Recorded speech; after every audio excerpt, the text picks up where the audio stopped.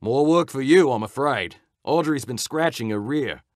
Let's hope it's something harmless, right, Doc? Take a quiz at this.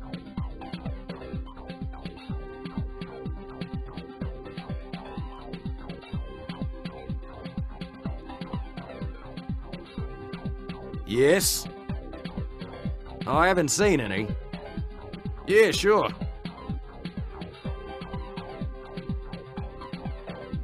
Hmm, is the pulse normal? Pulse seems normal. Looks normal to me.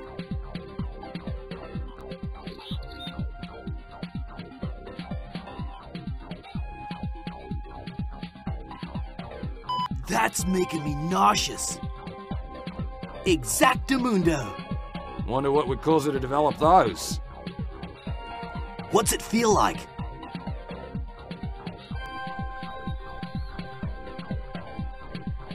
Lab work has been drawn.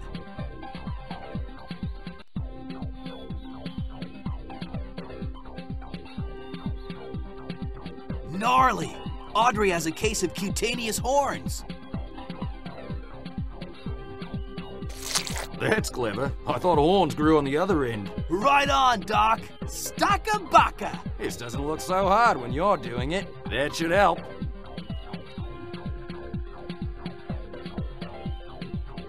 Righteous move. I'm sure she's thankful.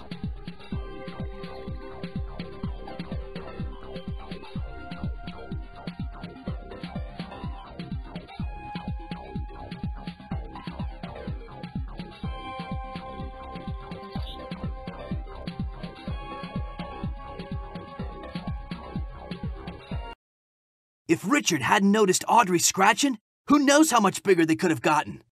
Don't worry, mate. I won't let it go to my head. It's a doc here who figured it all out.